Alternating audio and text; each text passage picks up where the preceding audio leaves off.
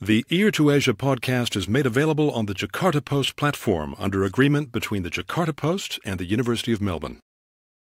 Hello, I'm Sami Shah. This is Ear to Asia.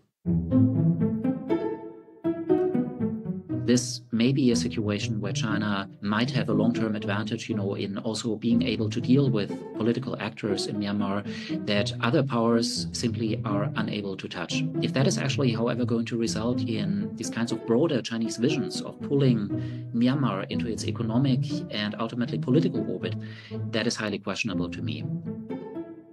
From China's vantage point, the risks at this point for its projects, for its geostrategic connectivity are extreme, that it's going to almost have to lean in more on ethnic armed organizations to stabilize some of its projects, and that over the longer term, you'll probably see where China begins to lose more and more patience with the military regime that simply doesn't have a pathway forward. In this episode, how China safeguards its interests amid conflict in Myanmar. Ear to Asia is the podcast from Asia Institute, the Asia research specialists at the University of Melbourne.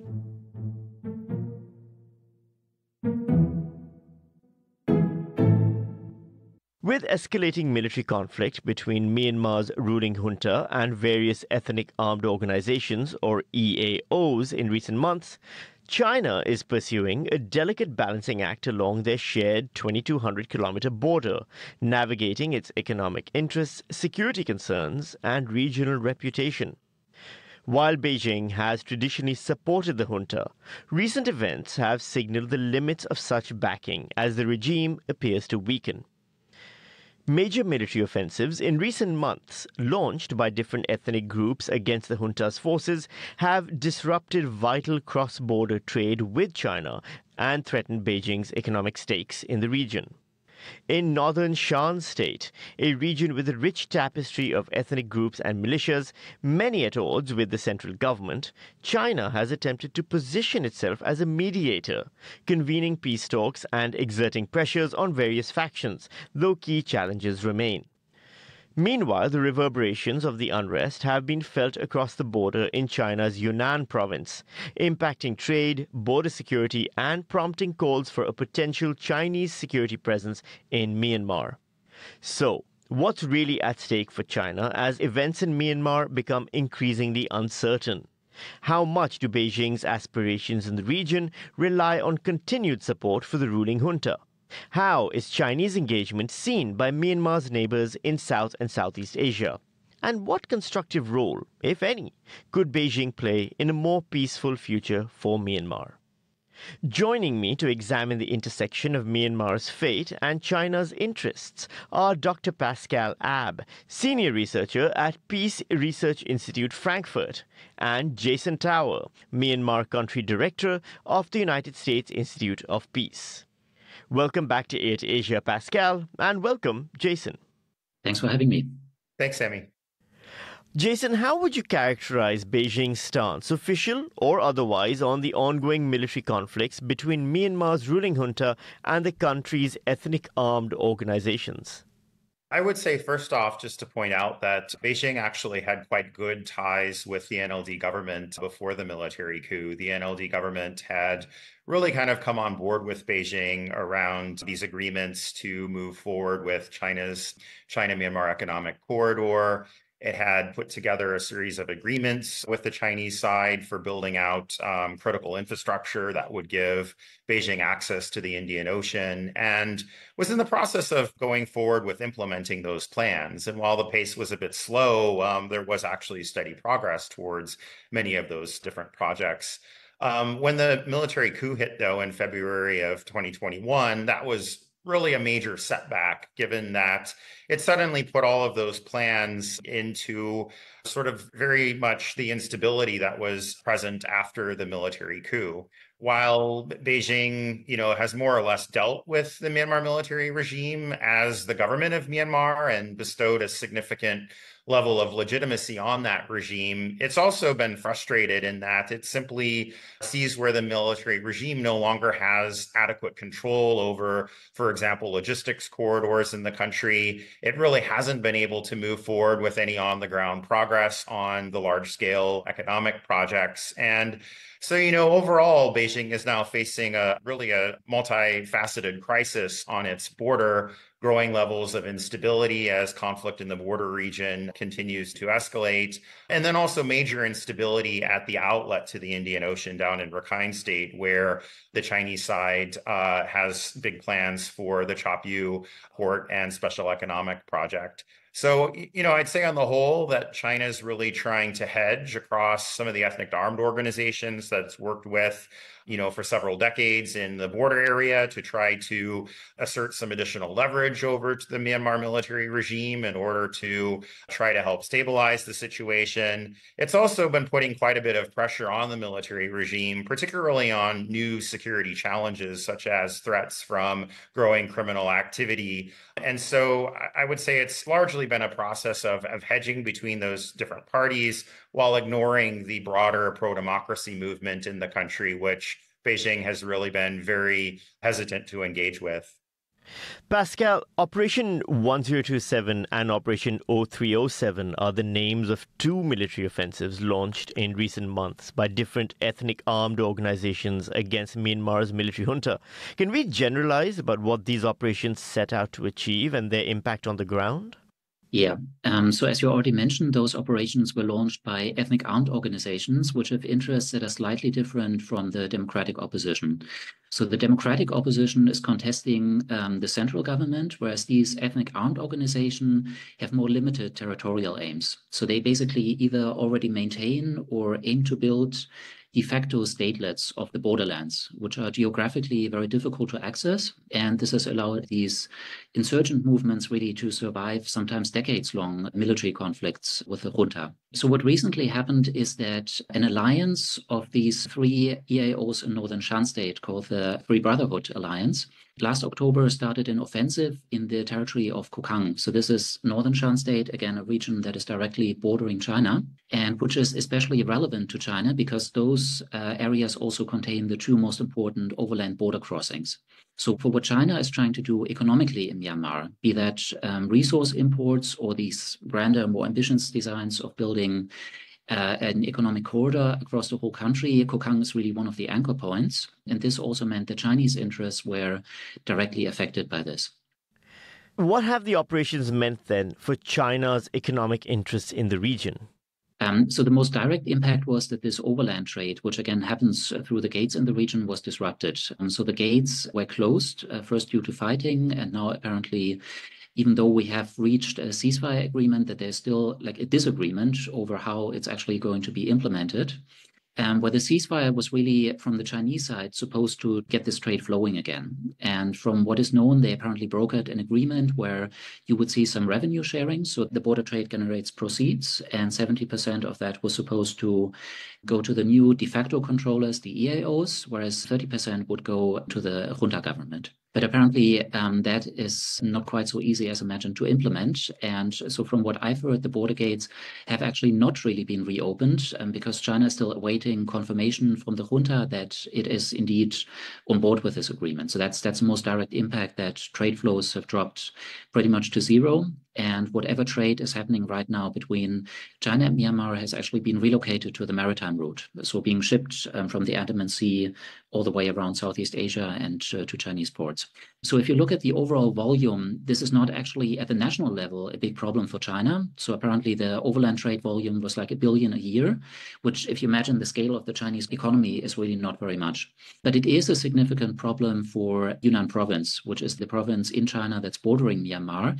Yunnan province is one of the poorest, if not the poorest province in China. And it is actually much, much more dependent on resource inputs from Myanmar than Beijing as a whole is. And this, I think, also makes it a player in this whole, you know, diplomatic agenda that Jason already has alluded to.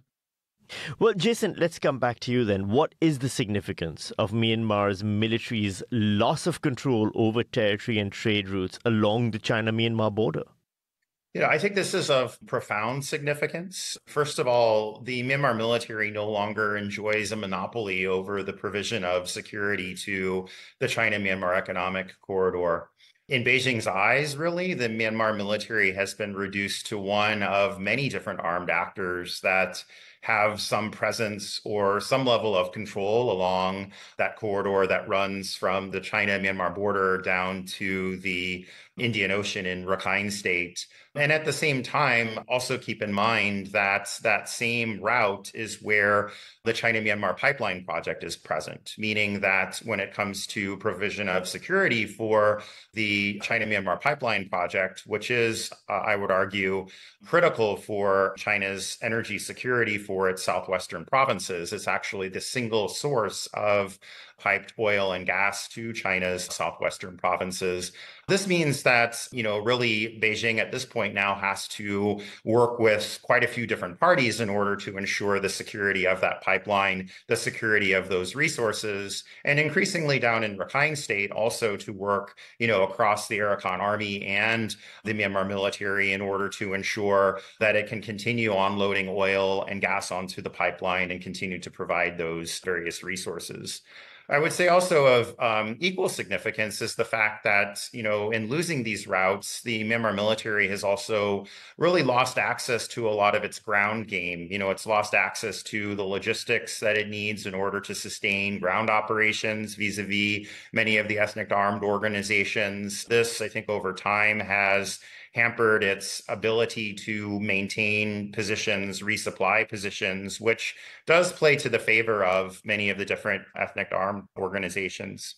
I think also interestingly, you know, the military junta is now having to come to terms with the fact that it's not really seen any longer as the key player when it comes to the economy and when it comes to security in the country. While, of course, Beijing is still quite happy to extract concessions from the Myanmar military to lock in better deals vis a vis national level projects. When it comes to the recent trade talks, I mean, as Pascal referenced, you know, Beijing has been pushing for this agreement around a 70 30 split of benefits of trade, which makes the junta, for the first time, a junior partner.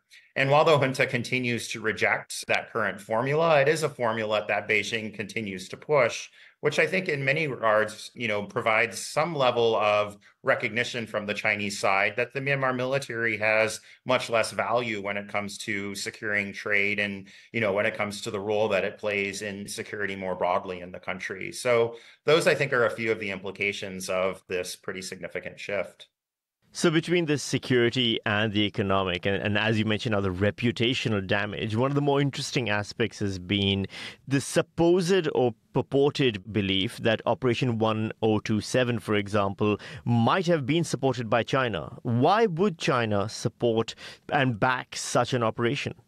Well, one thing to go in mind here, and I think we'll have to back up and talk through a, a, little of, you know, some of the non-traditional security threats that Beijing was facing from Myanmar, both before the coup, but which became much more acute, I would say, after the coup, and even more so following the end of the pandemic in China you know, really throughout most of the 2000s, you saw the rise of these casino cities on the China Myanmar border. And, you know, these casino cities largely were built out, you know, through an arrangement between the Myanmar military, different militia groups, and later on its own border guard force up in the Kokang territory, which ultimately enabled the creation of these giant casino cities that would build out online gambling platforms targeting Chinese nationals. This was a source of aggravation for Beijing, I would say, over the past more or less two decades, where you saw these intermittent crackdowns on online gambling from time to time. But following the pandemic and later the military coup, you saw a sudden shift in a lot of these online gambling operations away from online gambling and towards just outright fraud and scamming, highly sophisticated forms of fraud and scamming that initially we're targeting primarily a Chinese domestic market. So you saw really during the pandemic these scams, you know, rise to steal billions of dollars of assets from Chinese nationals all across China. And then following China's reopening after the pandemic, you also saw where there was a major uptick in human trafficking. This was trafficking of Chinese nationals into these scam compounds, which were often using forced labor. So people inside of the scam compounds were actually literally forced, you know, at threat of torture or, or some other form of cruel punishment um, to go on and to engage in this form of online scamming. So the Chinese government started to raise this issue with the military regime in May of 2023 when the Chinese foreign minister made a, a, visit and made this issue the center of his engagement with the Myanmar military regime.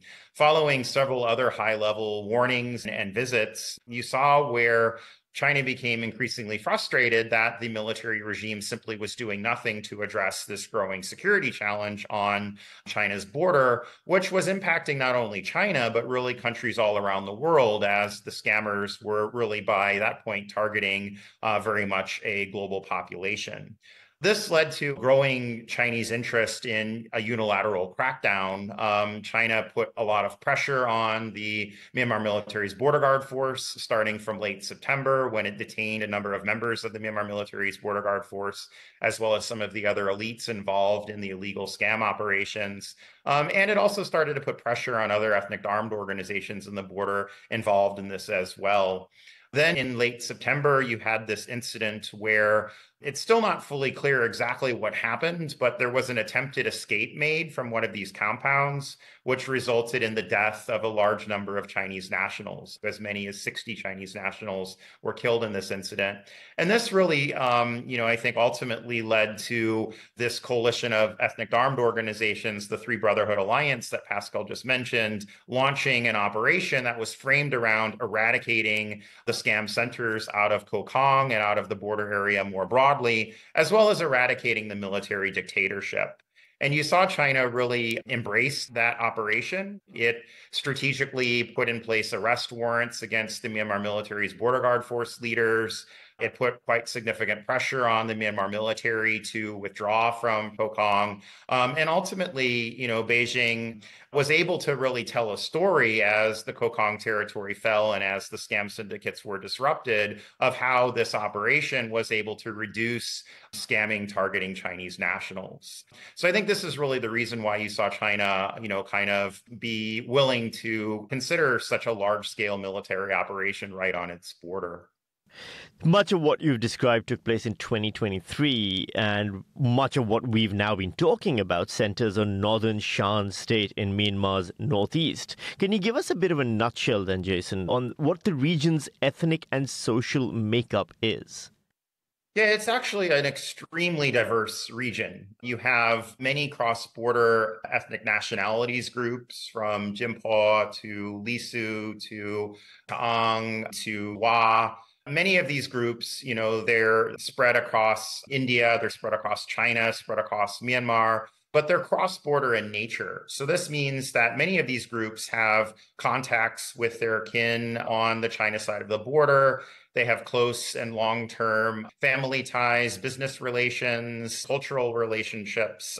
All of that is present there in the border area. China also historically has played a role in supporting many of these ethnic groups, as well as the ethnic armed organizations that often represent these various groups, both militarily and politically.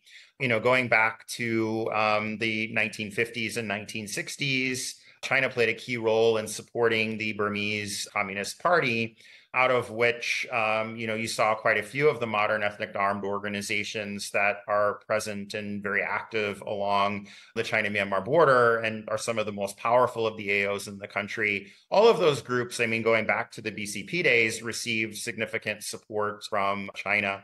So there's very deep ties and linkages across these different groups, but at the same time, there's often many different long-term rivalries as well as alliances that are there across these groups as well. So you'll see, for example, that some of the groups from Shan, which are related to the Dai people in China, they have quite deep rivalries, for example, with the United Wa State Army, which in turn has, you know, tried to split these groups in Shan State to keep them divided. And so you have two very significant ethnic armed organizations in Shan State that represent the Shan people, a northern Shan State Army, which is closer to the United Wa State Army, and a Southern Shan State Army, which tends to be a bit closer to the Myanmar military.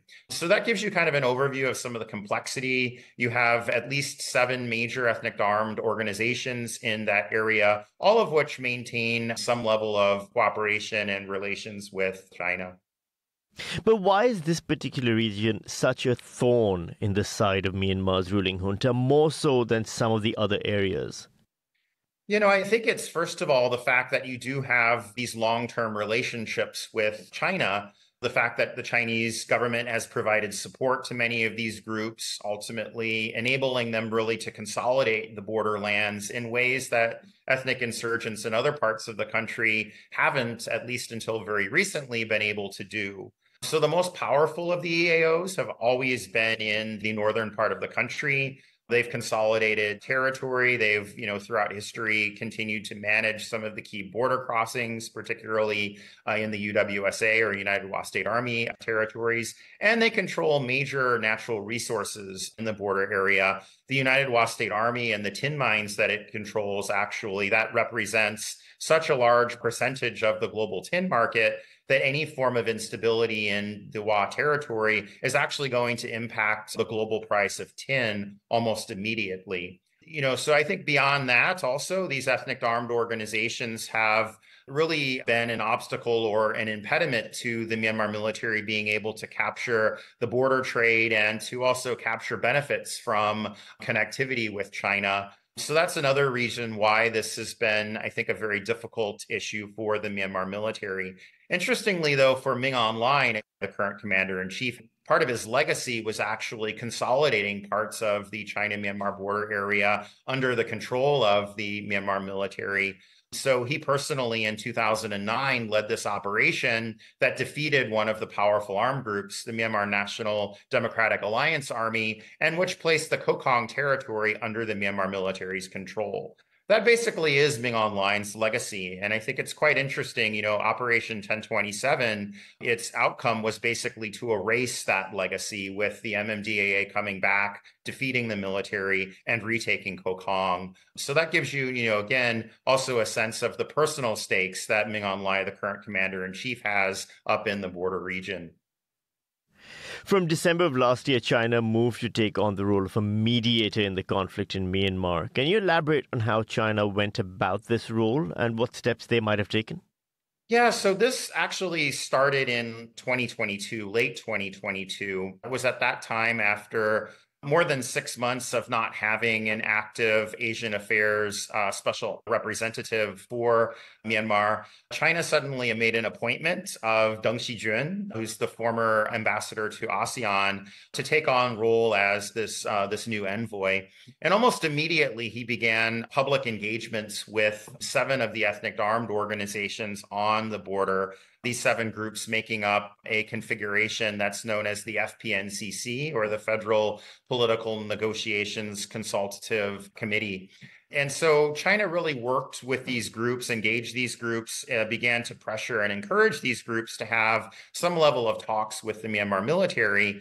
And then, after convening the group several times, China actually was able to get a written mandate from these seven EAOs to take on a role as a mediator in the conflict.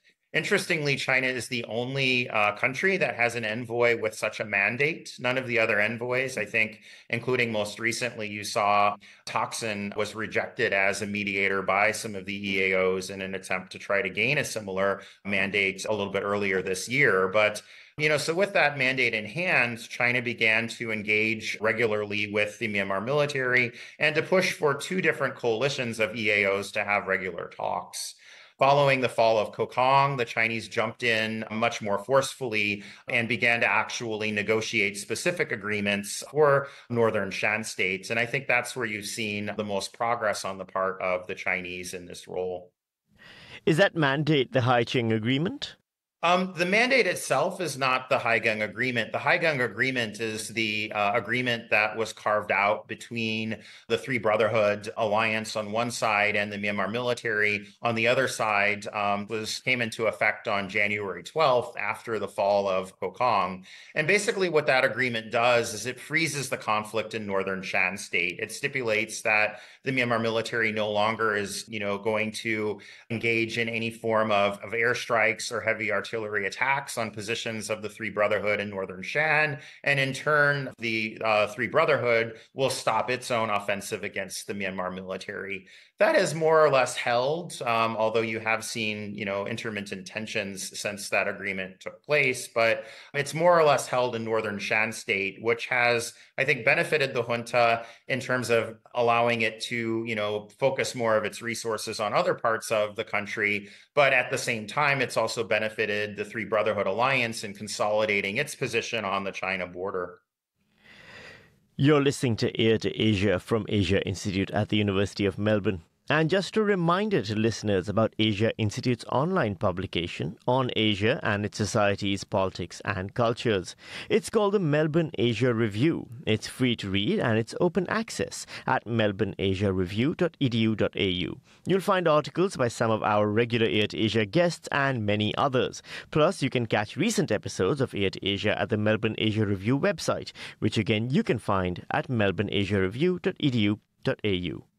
I'm Sami Shah, and I'm joined by Myanmar Country Director for the United States Institute of Peace, Jason Tower, and by Interstate Conflict Research Specialist Dr. Pascal Abb of Peace Research Institute, Frankfurt. We're talking about how China is both impacted by and exerts influence on the conflict zones of Myanmar.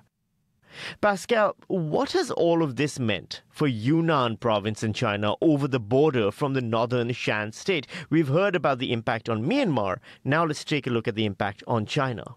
Um, let me backtrack a bit to what I mentioned earlier. Um, Yunnan province has some distinct interests in Myanmar that are different from those of the central government. And those are mainly economic interests. So Yunnan is a relatively poor province in China. It's one of the inland provinces that did not profit immediately of this kind of economic boom that you saw, especially in the coastal regions of China since the 1980s. And this meant that it is also the recipient of specific developmental schemes by the central government to help boost its internal development. And actually, CMEC, so this China Myanmar Economic Corridor, is the offshoot of one of those schemes. And as you can imagine, the Yunnan central government is very, very keen on seeing this project put into practice, and especially of also resuming its economic and trade ties with Myanmar. And the problem here is that this trade, as I mentioned earlier, has now mainly moved towards overseas shipping, which is kind of the way that most global trade is really handled, and which is, as we know, a very relatively cheap and economical way of transporting things. So when you have an overland connection, that always comes with a set of challenges. It's rarely economic. And when we look at the specific case of Myanmar, you have the problem that this corridor crosses multiple lines of fighting and of territorial control. So you need a lot of players in this conflict really to all be on board with the China-Myanmar trade in order to be able to conduct it. And that has made Yunnan's trade with Myanmar one of the first casualties, really, of the conflict that has broken out. So it had to close its border gates, often at the direction of the central government. This is actually not just a problem with the coup, but even earlier during COVID, um, we already had a significant disruption. And this really um, establishes, as I mentioned, these, these kind of diverging interests between Yunnan, which is mostly focused on getting its economy going again, and the central government, which is more focused on uh, border security.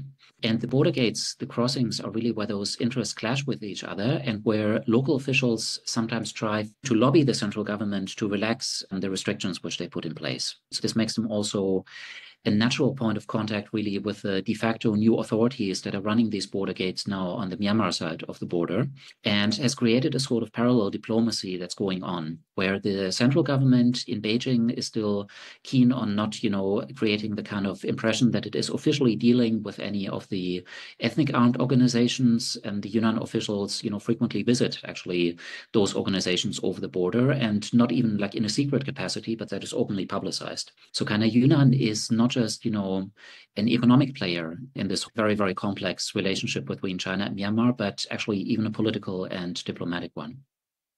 What about the situation in Kachin State, Myanmar's other large state bordering China? Um, so there, the situation. So first of all, the situation when it comes to Chinese interests is a bit different. Uh, so Kachin State is nowhere near as important for the cross-border trade as Northern Shan State is. So the, the China-Myanmar economic corridor does not actually pass through it, and the Chinese economic interests on the ground, when we asked about those, are also of a very, very different nature from those that are captured under CMEC. So actually, when we asked about it, what everybody immediately started talking about was uh, rare earths mining, which is not part of infrastructure development, of course, and the way particularly in which it happens in the border region of Kachin state around Pangwa is also uh, not just unofficial, but also illegal, actually. So you've seen Chinese investors whose operations also in rare earths mining were shut down within China actually move their operations across the border and take advantage of the kind of lack of regulation that they enjoy there. So the situation is actually a bit more like the scam centers that Jason mentioned earlier, not as directly a problem for China itself, but also a highly illegal and uh, unofficial, unregulated border economy. So, Jason, what's been China's response then on its side to the goings on in Kachin State? I guess on Kachin State, one other important factor to consider is the ongoing dispute between China and Myanmar around the Myitsone Dam project. So, you know, one of the key projects that um, the Chinese government began to uh, become involved in in Kachin was a mega dam that was on the upstream of the Irrawaddy, actually at the confluence of two rivers that ultimately flow into the Irrawaddy River, which is the country's major river. The Chinese actually broke ground on this dam before the original reform period started. And I think we're really quite shocked when the Sein government back at the time decided to suspend this project. You know, at the time, the, the so called reformist USDP party uh, government cited the will of the people in suspending this project. This project had really played a role in, I would say, driving conflict between the Kachin Independence Army and the military uh, back before 2009. I think ultimately playing a role in causing a ceasefire to break between those two parties and a resumption of violence between the KIA and the military.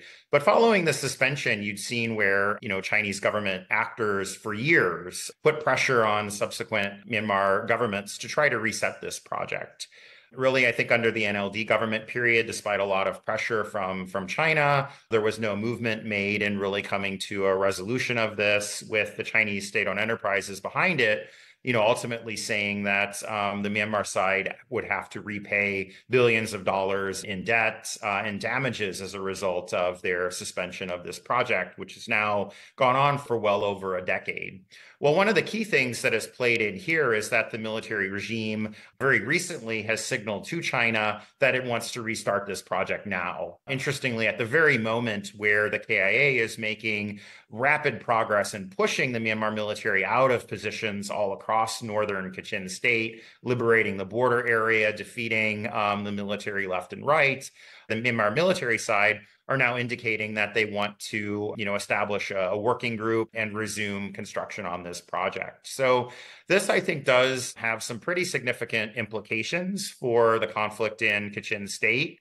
The Chinese company behind this, SIPC, State Power Investment Corporation, has actually for years been lobbying the Chinese government to try to resume the project and has been putting large amounts of resources into trying to build a more favorable public opinion around the project in Kachin State and across Myanmar more broadly, but without much success. And so, you know, I think at a very moment where the KIA is kind of um, has an advantage on the battlefield, the Chinese side now has to suddenly think about whether or not it wants to go in with the junta and try to resume this project, which could cause and spark even further violent conflict, or it may potentially, you know, have the option of deflecting and not resuming this project, which I think would be a pretty devastating blow to the Myanmar military in terms of its desires to try to maintain something of a foothold in Kachin state. So this is kind of, I think, one of the key issues that China is looking at at the moment in Kachin is around, you know, the status of this extremely controversial dam project that the key armed group, the KIA there, has long spoken out against. We're now hearing about so many varying groups with varying amounts of power and influence in this, outside of China, of course. Pascal, for the competing powers within Myanmar, to what extent is the conflict about economic, sometimes criminal opportunities rather than ethno nationalist territorial ambitions? Um, so the Chinese projects, especially again when it comes to those which are facilitating cross-border trade, represent significant revenue sources for those groups. And I think that also made the crossings an especially attractive target to capture.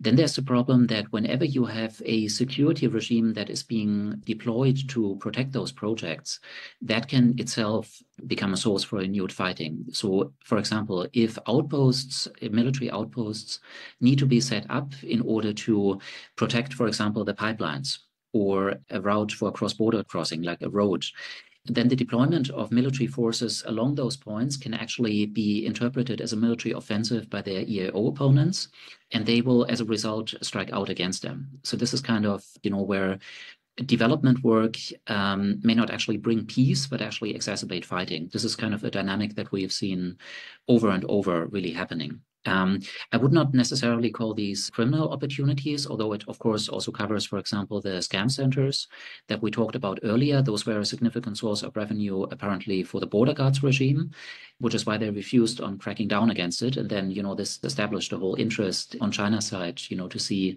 uh, a change of leadership on the other side of the border. But this is mostly about taking advantage of the kinds of economic resources which the Myanmar borderlands have. And those tend to be, you know, especially in extractive industries. There has not been much in the way of industrial development, which was supposed actually to be uh, a priority of CMEC, you know, to establish industrial zones in Myanmar where Chinese enterprises would then move operations across the border and no longer just extract resources, but actually start refining them and working them into products that could then be exported to China. And this kind of economic activity has been totally made impossible by the kind of fighting that you have seen following the coup. So that basically leaves you with the kind of resources that we describe as so-called lootable resources, right? Which can be extracted and then sold, very often just smuggled illegally across the border. And that is a very, very well-known driver actually of civil wars in the sense that it allows combatants to economically sustain their operations. Jason, what's been the impact on the lives of civilians in all of this? We've heard about dams, we've heard about rare earth minerals, cross border tensions, everything. What's the humanitarian situation now in the affected regions? I mean, in a word, it's deplorable. And I think backing up here, it's important just to point out how the military coup and what has ensued since has fundamentally erased all progress that was made over the last decade. Um, that's economically, that's politically, that's in terms of you know addressing some of the historical humanitarian crises that the country has faced. You have since the coup um, 2.5 million people displaced. That's additional people displaced. You have well over 100,000 refugees, people driven across the Thai border, the India border, the Bangladesh border. Recently, another 45,000 Rohingya were displaced on top of the over 1 million Rohingya that have been displaced since 2016. Um, you've seen, you know, again, the Rohingya very much kind of right in the middle of the violence that's going on between the military and the Arakan army in that area and facing much more serious challenges as a result of that. Then you also have just the challenges of access, right? Because the Myanmar military has systematically blocked humanitarian access across the country. You now have upwards of 20 million people who need humanitarian aid, with the vast majority of those people being in places where there simply is no access unless countries are willing to use the back door, you know, to go through Thailand or to go through India or Bangladesh or China to deliver that aid. Beyond that, you know, you've seen also major losses in terms of civilian fatalities and casualties. Over 5,000 documented cases of civilians being killed by the military's violence. You've seen arbitrary airstrikes across the country on, on civilian targets, especially in the Myanmar heartland. Um, and then you've also seen tens of thousands of political prisoners, including both the NLD government leaders, president and state councilor, who continue to be imprisoned, but also many other individuals who were captured by the junta in the early uh, phases of peaceful protests against the military coup. So it's really been devastating for the people of Myanmar, as well as for the neighboring countries who have to take on a huge burden in terms of dealing with a lot of the fallout and instability. What about the other countries outside of China? Have they had any role, regional players and maybe major international players as well? How is this engagement seen by Myanmar's neighbors, for example? Yeah, so ASEAN has tried in different ways to play a role around addressing the crisis. You saw just a few months after the coup, actually, that they carved out this five point consensus, which was supposed to serve as a roadmap for ending violence in the country, releasing political prisoners, and so on. But the Myanmar military rejected that consensus, walked it back almost immediately after, you know, the so-called agreement was made in in Jakarta, uh, not long after the military coup.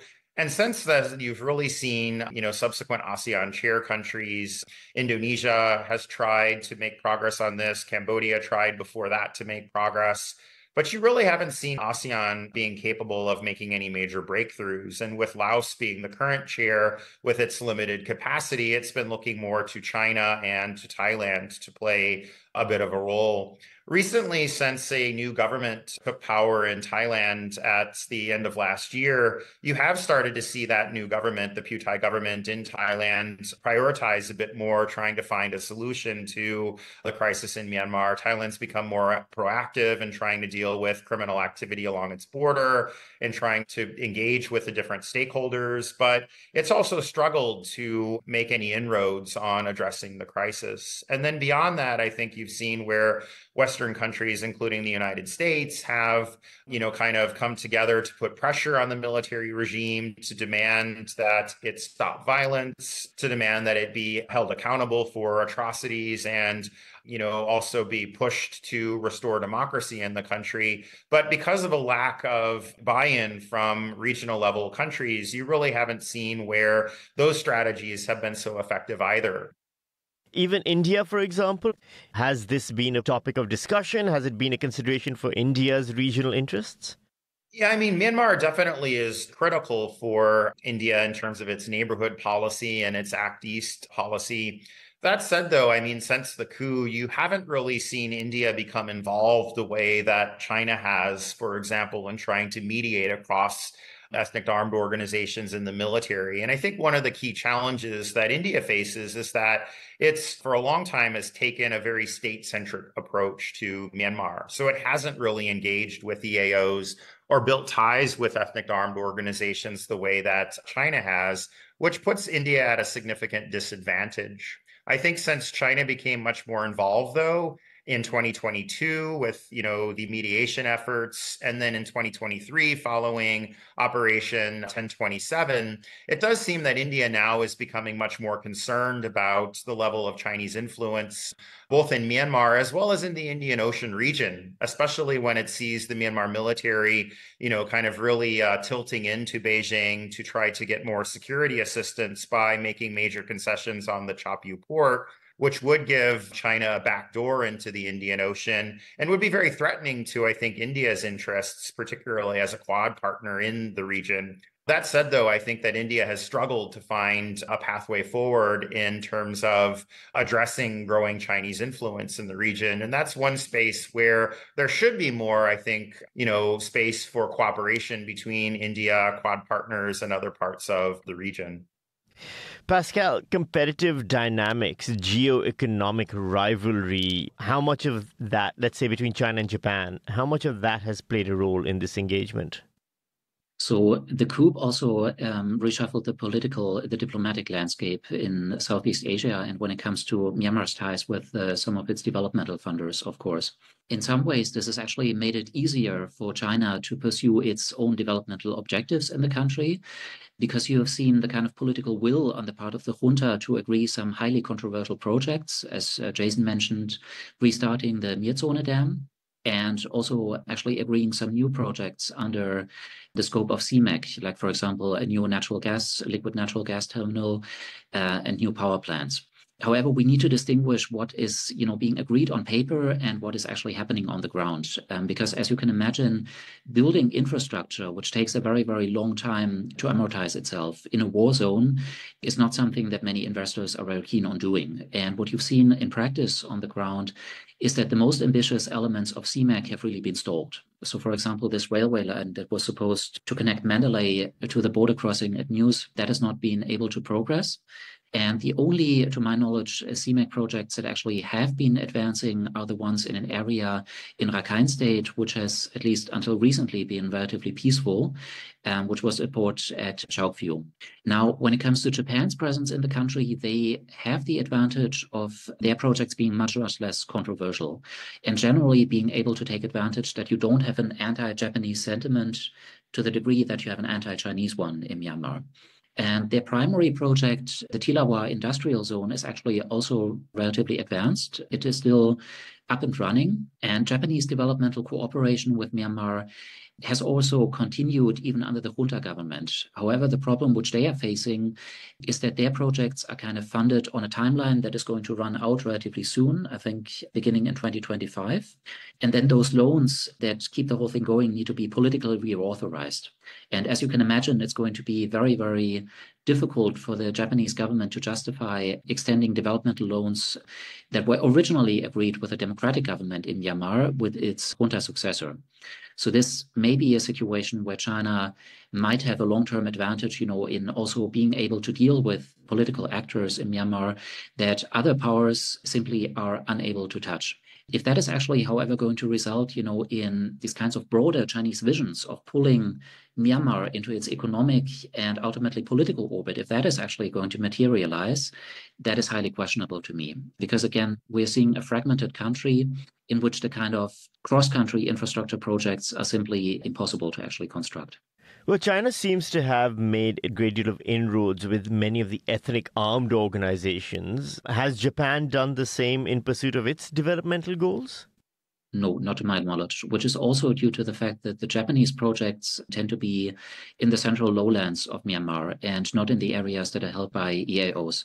Whereas if you build anything from these kinds of central areas of Myanmar through the Chinese border, you invariably have to cross EAO held territory. Jason, what then, given China's aspirations in the region, do you see as a future for Myanmar? Yeah, I guess it's important, first of all, to point out just how bad the situation is now for the Myanmar military. Just since last October, with this Operation 1027 up until present, the military has lost over 40,000 square kilometers of territory, including, you know, control over the key border trades with China, with India, and also increasingly with Thailand. And, you know, on the Thai border, it's really at this point relying on a border guard force involved in mass scale criminal activity to keep a foothold on that border, with border trade already being very highly disrupted the Myanmar military has lost over 10,000 troops. And I think, you know, politically, it just really has no story to tell in terms of how it stabilizes things, how it builds some form of stable status quo for the future of the country. You know, there's been talk by the military about trying to hold